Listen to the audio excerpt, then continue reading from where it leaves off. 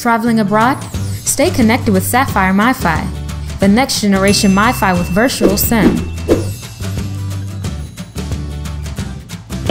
Sapphire uses smart technology called Virtual SIM. It uses nearby carriers to keep you connected anywhere you go.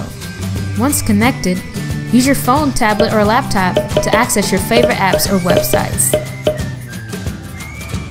Let's get started. Download the Sapphire app or go to sapphiremifi.com. Create an account.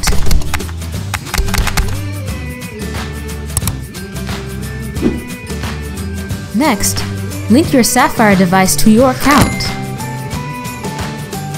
And finally, choose your first data package. Now, let's get connected. First, turn on your Sapphire device. Then, connect your device to Sapphire via Wi-Fi. Did you know Sapphire includes 500 megabytes of global data? Free!